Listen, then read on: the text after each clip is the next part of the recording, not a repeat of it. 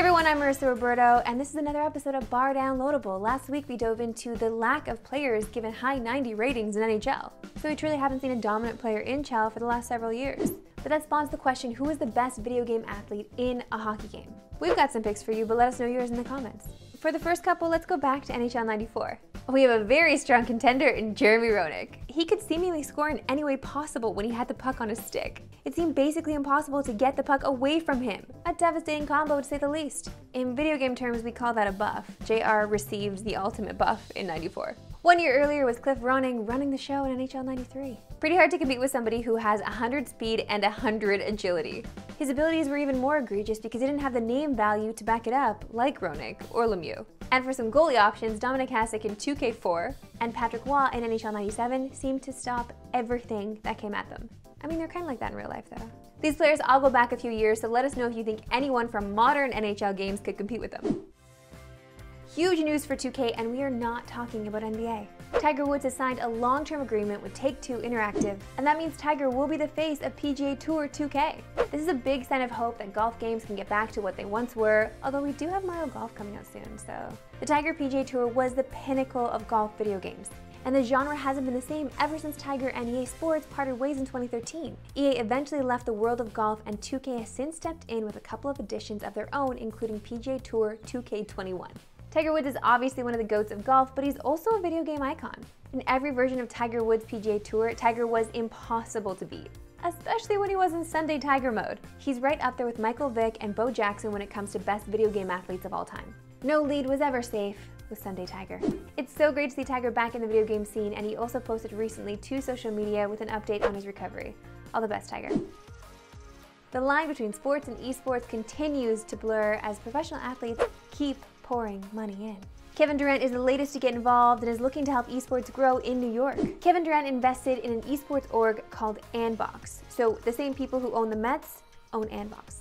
And Andbox has teams in the esports world that are involved in the Call of Duty League and the Overwatch League, as well as the Andbox Valorant team, which is another scene you should be paying attention to. It's new and popping. Durant is no stranger to video games. He's been playing 2K for many years and has also dabbled in his fair share of COD.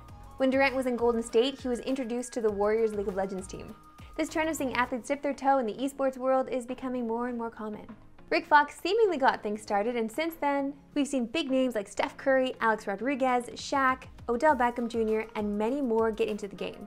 And if you somehow missed it, Mitch Marner and Zach Hyman are also players in the esports game. 24 hour streams have become somewhat commonplace on Twitch, or 36 hour streams, just ask Corwin. For some reason, people love watching streamers not get any sleep. Well, Ludwig is putting the 24-hour stream to complete shame. Ludwig started a subathon on Sunday. His stream gets longer for every subscription he receives. He might have expected a longer than average stream, but probably nothing like this. After a day of streaming, Ludwig went to bed live on stream, and when he woke up, he realized that he received enough subscriptions to boost his time remaining to 28 hours. After a couple of days of playing games and watching movies, followed up by a couple more sleeps on stream, the time remaining went down to 32 hours. Yeah, it went up. This marathon of a stream has no end in sight. It's since gone up to 60 hours. He now has over 75,000 subscribers and has trended number one on Twitter. It's a wild scene. The stream might go on for weeks, possibly months, and we're not sure what to say. Congrats, Ludwig. Sorry, Ludwig. Ludwig, why did you do this? Now so many other people are going to do this and just live their life online and never have a life outside of it. He's smart. He's, he's a smart cookie. This is the closest thing to a real life Truman Show we could ever witness. One of the coolest things about the NBA 2K League is the draft that happens every year for prospects. This year there were 265 players eligible to be drafted and it was the most diverse pool of prospects yet. There was a wide array of international representation and also a record 10 women who earned eligibility. Lakers Gaming had the first overall pick and they selected Crazy. Later in the draft, DJ Lay and Zaya became the second and third women to be drafted in league history. Congratulations to everyone drafted.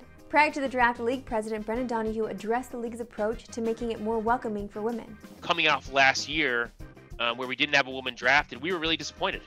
Um, and so, you know, we uh, we created our Women in Gaming initiative this year, and it uh, was a lot more robust. The majority of it was gameplay, and it was gameplay against each other, but also gameplay against some of the top 2K League players in the world, because we wanted them to be benchmarked against the best in the world so, so that they can prove that they should be in the draft pool and in the league. I know lots of esports for you this week, but if you're looking to get into it even deeper, especially the Rainbow Six scene, well, the North American League kicks off March 24th. There's some Canadian beauties competing in that one, so be sure to check it out. That's it for this week. We'll see you in the next episode of Bar Downloadable and in the comments because you know I'll be there.